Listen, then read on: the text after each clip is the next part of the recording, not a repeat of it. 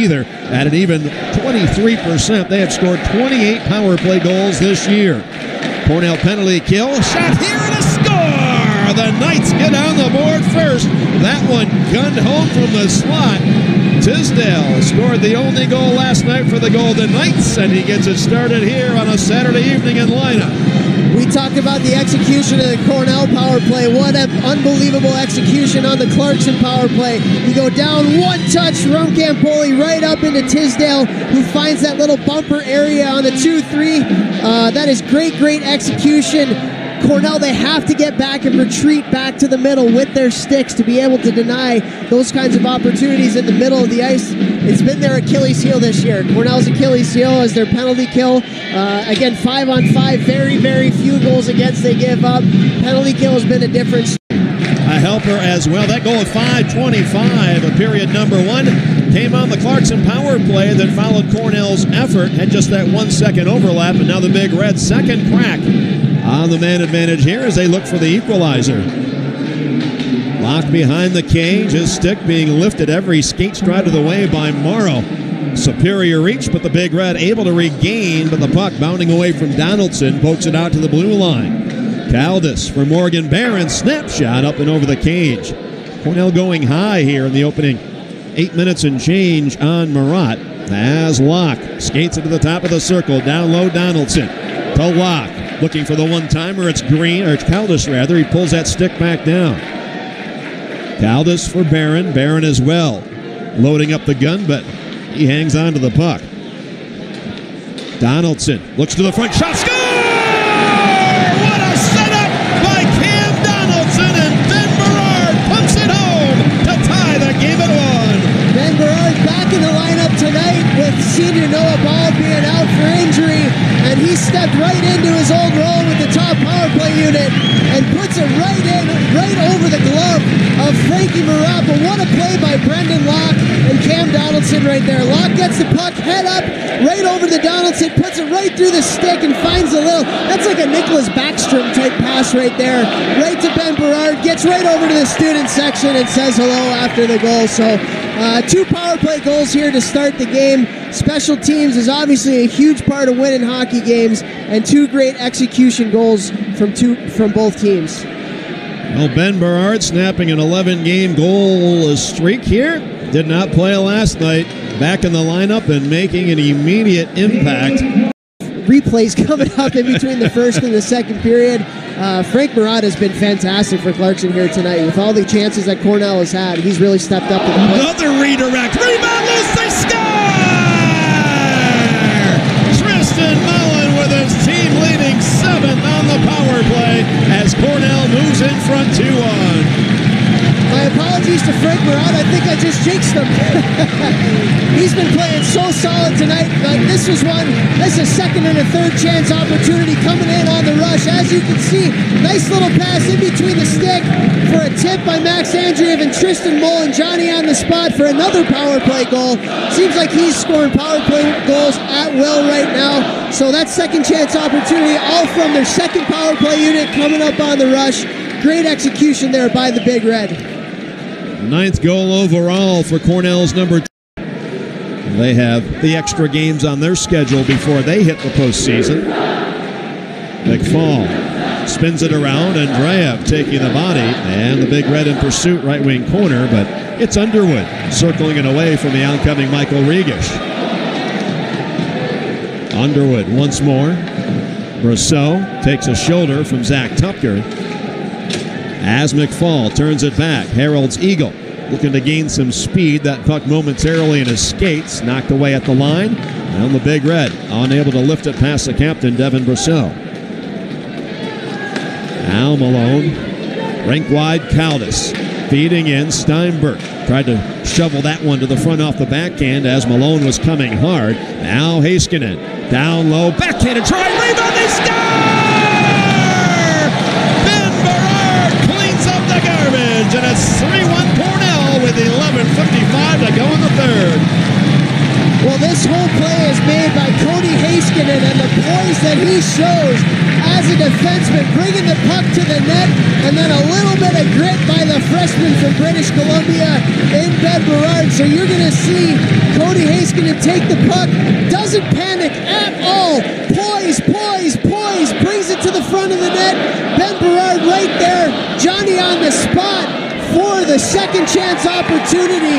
And Ben Berard with the second goal of the game coming back into the lineup with the injury to the senior of Noah Baldwin. I would think he would like to stay in the lineup here for the next game, Brady. Well, he, his activity picking up here in the third period. He has stopped 23 of 24 shots in total, but things a little bit dicey at times in the Cornell defensive zone over the last several minutes. Yeah, Cornell, they got away with a few there on the penalty kill. You had the first one, you had three Cornell players a little bit overextended, and I believe it was Haralds Egle that had the puck right in front of the net.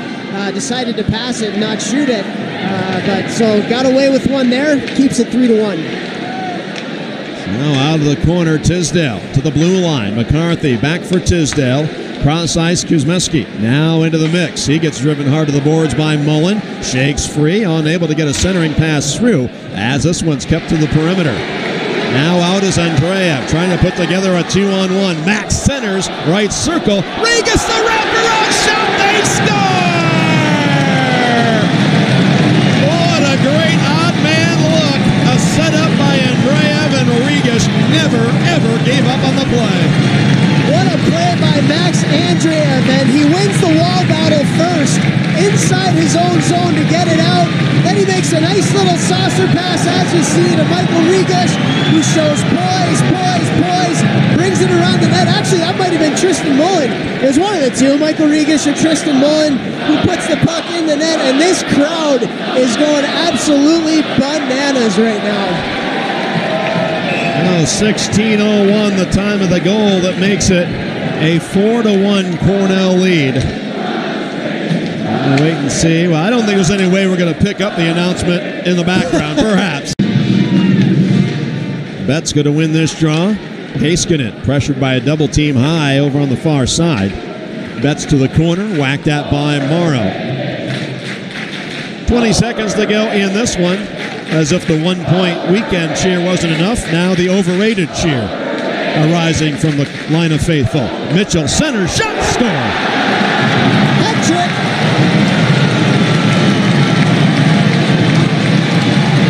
What a night for Ben Berard. How about it, huh? The freshman coming back in the lineup, and there the hats go. The hats are flying now for the freshman from British Columbia. What a night for him, and just kind of fitting.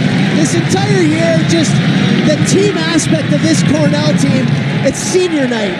Right? It's senior night. You have three seniors. It's the regular stage? season, and a freshman comes out, and the freshman scores to make it a hat trick for him and a 5-1 lead. So what a nice pass by fellow freshman Travis Mitchell to get it over to Berard, who is sitting on the back door as well. And you have to imagine, knowing that Ben Berard was out there on the ice, they were trying to look for him to get that hat trick goal.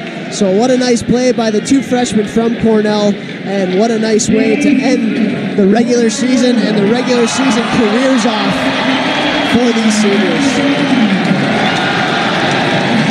Ben Berard with the trifecta here tonight. Two of those coming on the power play as a big red will put this one in the books as a 5-1 victory. Not over their most hated rival, but certainly one of their most heated over time, the Clarkson Golden Knights. This crowd is it's jumping. It's jumping and for good reason. I mean, the entire regular season, zero losses for this big red team. And talk about, you know, one of the questions I get asked, usually as a coach, having coached, what's it like being able to recruit at Cornell? You know, and it's very, very cool because you get to bring them to an atmosphere like this and just say, hey, you can play like this for four years. And, uh, you know, it's an incredible thing to be able to have. Uh, Ithaca, New York, it's a small town, but it's a big community. And it's, uh, it's a special, special place. And it's a place for special people. And you got three special people that are going to take their lap here tonight. And it's been, what, 11, 12 years now since I took my lap around here. And Probably still seems like better. yesterday. Oh, my gosh, it does. But I feel feel like getting choked up a little bit for those guys because those three guys again like I said I was here as we were recruiting those three three incredible kids three incredible families. So much sacrifice from a family aspect for them to be able to send their kid to an Ivy League institution, and they deserve this crowd rouse that they're getting right now. Now the Big Red with a victory. The crowd urging them on all night long. This joint was jumping from the time the puck hit the ice in period number one. And the crowd saluting the team and the team likewise to the full house of Lynah Faithful here on a Saturday evening. Clarkson with the loss. They will finish in conference at 16 and 5, 32 points. They were locked into the number two seed regardless of what happened here tonight.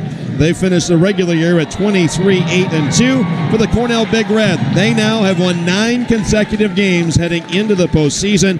They finished their conference schedule 36 points on the strength of a 17 2 2 record.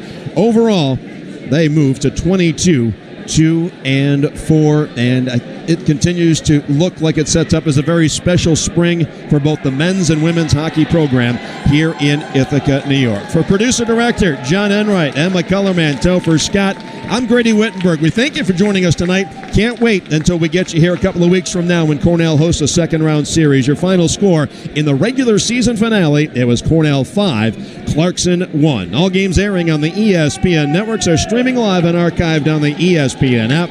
This has been a presentation of ESPN.